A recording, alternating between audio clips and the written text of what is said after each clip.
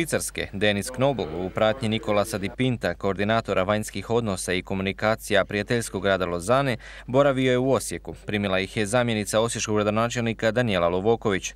Razgovaralo se tom prigodom o razmjeni kulturnih programa kao i mogućnosti organiziranja izložbe suvremene švicarske arhitekture u Osijeku.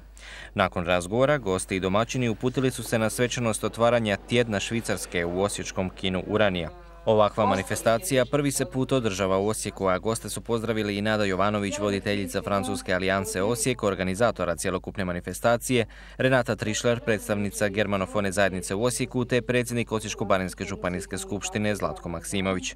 Program je započeo koncertom Hang Horn, a u foajeu Kina Uranija mogla se razgledati izložba Labord u minijaturi.